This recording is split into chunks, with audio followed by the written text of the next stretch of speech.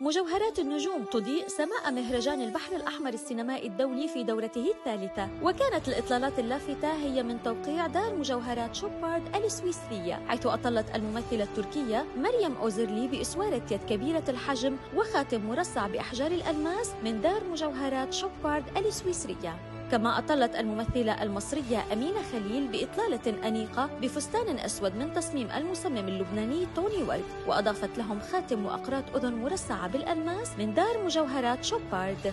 ياسمين صبري خطفت الأنظار كالعادة بفستان أسود مع تسريحة شعر بسيطة وأضافت أقراط الأذن باللون الأحمر والألماس من دار شوبارد مع ساعة يد فخمة مرصعة بالألماس وسوار جلدي.